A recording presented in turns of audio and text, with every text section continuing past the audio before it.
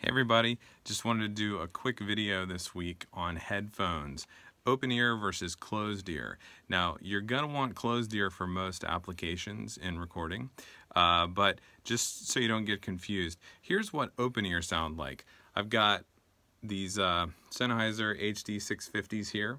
These are open ear headphones that I mix on sometimes. This is what they sound like.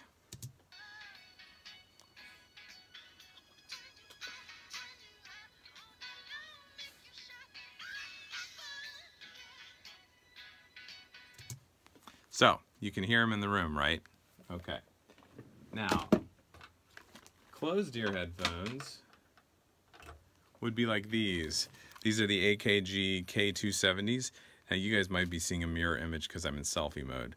Um, but these are similar to the K240s, which are uh, pretty standard in studios. These are closed ear. Now, listen to the difference at the same volume.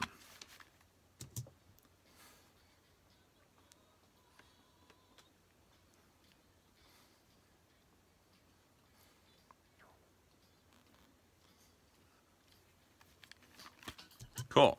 So that's why we use closed ear headphones because you can't hear it and you don't get bleed when you're recording. So uh, head on over to the blog, recordingacappella.com.